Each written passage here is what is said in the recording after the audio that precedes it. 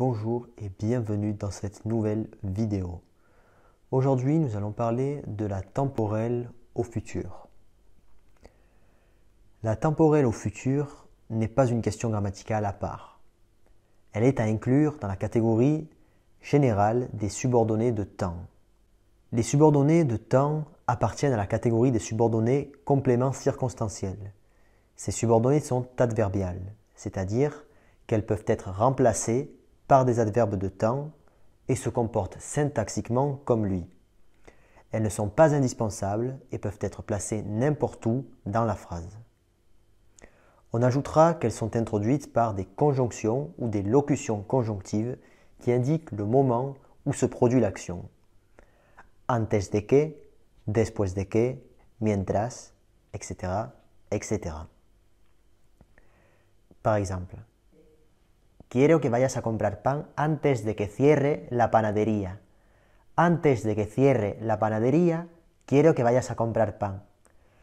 Quiero, antes de que cierre la panadería, que vayas a comprar pan.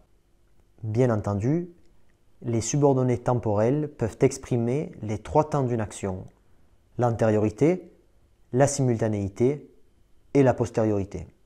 Par exemple, l'antériorité, voy a casa antes de que llueva. La simultanéité, voy a casa mientras llueve. La posteriorité, después de que haya llovido, voy a casa.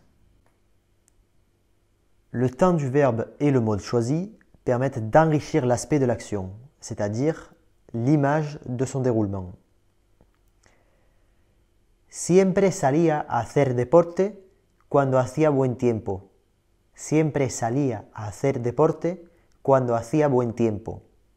L'indicatif dit des faits réalisés et l'imparfait des faits habituels.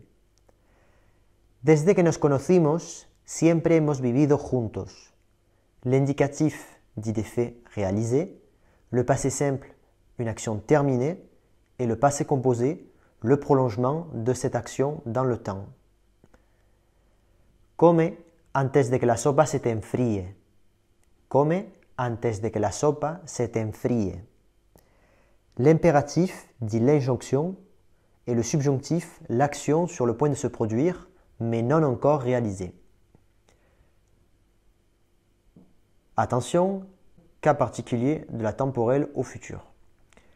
Le cas particulier de la temporelle au futur est à envisager en comparaison avec le français.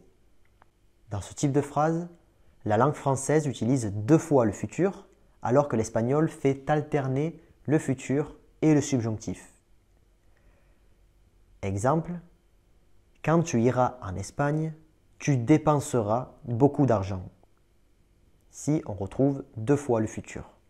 Ira dépensera à la fois dans la principale et dans la subordonnée.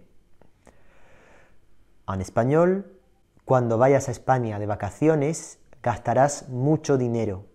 Cuando vayas a España de vacaciones, gastarás mucho dinero.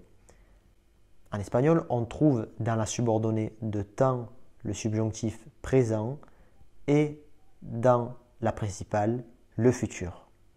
Le français se contente de répéter le futur pour deux actions non réalisées. L'espagnol souligne, grâce au subjonctif, cette notion de virtualité de l'action.